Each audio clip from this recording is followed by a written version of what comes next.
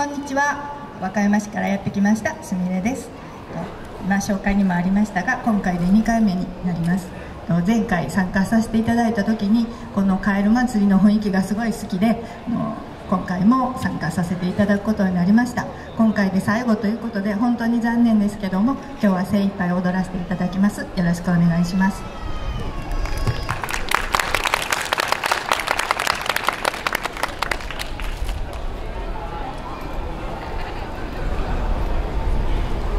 さんのお父さん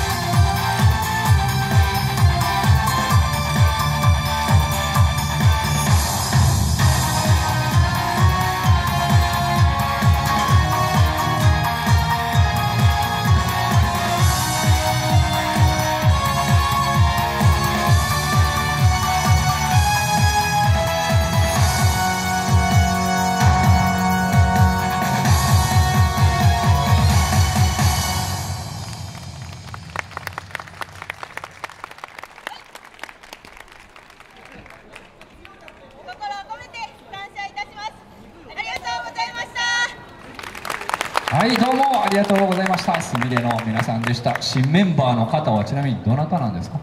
ああいいじゃないですか。いい感じで踊ってくださいまして。ね。まあメンバー増えるに越したことはないですけれども4人でねとっても仲良く楽しそうに踊っていただく姿はそれはそれでまたねね素晴らしいものではないかなと思います。すみれの皆さんでした。どうもありがとうございました。